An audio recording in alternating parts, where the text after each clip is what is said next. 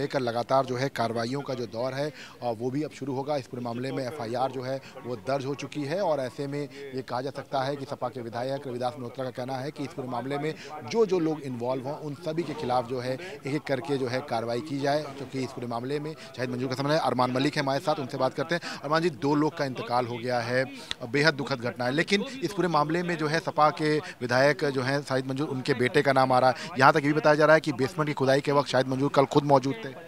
देखिए इस अपार्टमेंट का जो भी निर्माण हुआ है वो मेरे ख्याल से उस समय बहुजन समाज पार्टी की सरकार थी शासन था उनका। आ, और तब से लेके ये अपार्टमेंट अभी तक खड़ा रहा है और अगर किसी के संज्ञान में नहीं आया है तो ये बड़ा आश्चर्यजनक बात है। दर्दनाक घटना है। इसमें दो लोगों की मृत्यु अभी तक सामने आ चुकी है। हमारे पार्टी के प्रवक्ता अब्बास हैदर साहब की माता जी का और उनकी पत्नी का अभी अभी इंतकाल की सूचना मिली है हम लोगों को। ये वाकई दुख भरी घटना है। इस दुख भरी घटना में हम लोग अब्बास हैदर साहब के साथ में हैं खड़े और पूरी समाजवादी पार्टी उनके साथ है। और इस दर्दनाक हादसे के पीछे जो भी जिम्मेदार लोग हैं शासन प्रशासन का ये कर्तव्य बनता है, उनको ढूंढे और उनको कड़ी से कड़ी सजा दे।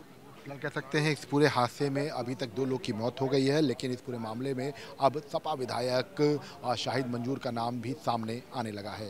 कैमरामैन देशा सिंह के साथ विशाल लघुवंशी जी मीडिया, लखनऊ।